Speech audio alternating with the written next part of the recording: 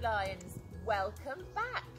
Now, do you remember that the last time you saw us, we asked you if you could make a scarecrow at home to help tell the story today?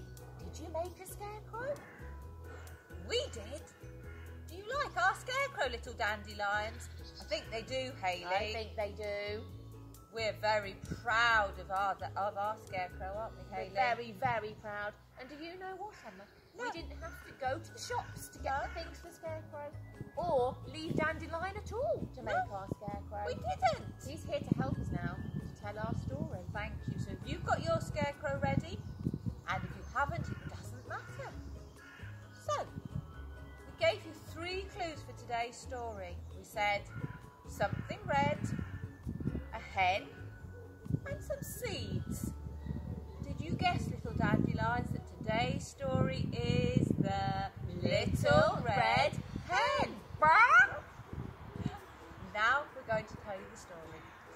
Once upon a time, there was a little red hen. Ah! And she wanted some bread. But she knew, first of all, she had to plant some seeds, to grow the wheat, to make the flour, to make the bread. So the little red hen ah! decided to ask her friends for some help. First, she asked the cat, Cat, will you help me plant my seeds? Meow, not I, said the cat.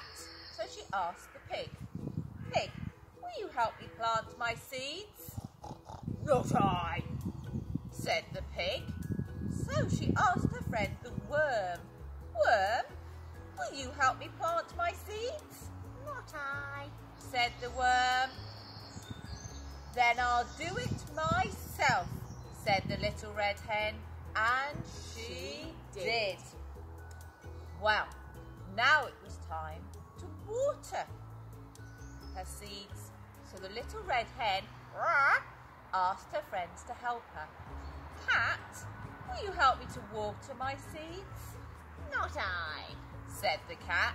So she asked the pig. Will you help me water my seeds, pig? Not I, said the pig. So the little red hen asked the worm, Will you help me water my seeds, worm?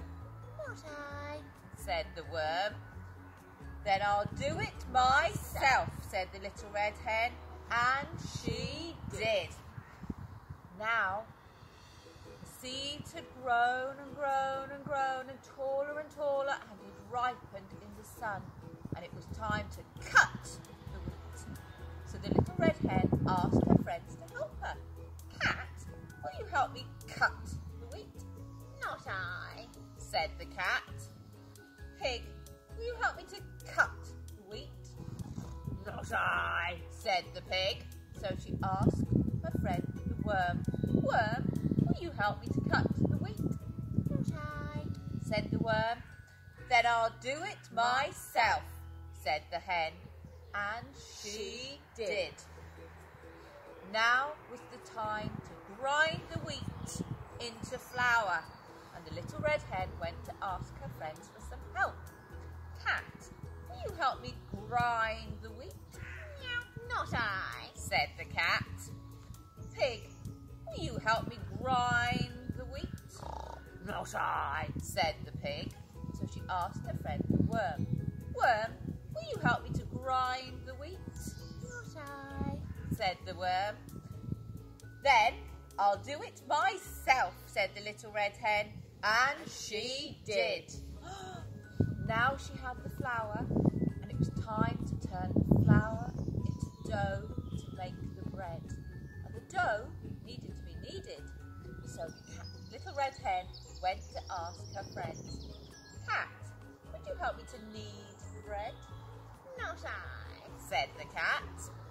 Pig, will you help me to knead the bread? Not I, said the pig. Uh, so she went to ask her friend the worm, Worm, will you help me to knead the bread? Not I, said the worm.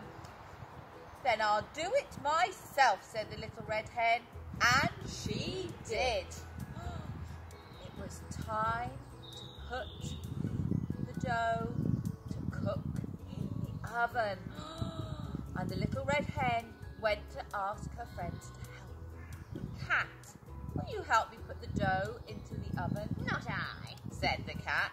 So she asked the pig, Pig, will you help me put the dough into the oven? Not I. said the pig. So she asked her friend the worm, Worm, will you help me to put the dough into the oven? Not I. said the worm. Then I'll do it myself, said the little red hen, and she did. Now the time to take the bread out of the oven. Can you smell it, little dandelions? Mm. Oh, it's delicious. Oh, oh, make me hungry. And the little red hen looked at the bread